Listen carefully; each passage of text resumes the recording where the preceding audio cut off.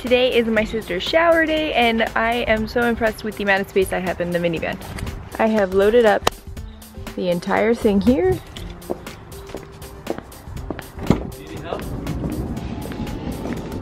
And we fully removed the seat. See, look, Ryan's coming. But we fully took out this extra seat to store her presents, stuff for the shower, and then in that floor spot right there is gonna be our next thing that we grab. A cake. Eee.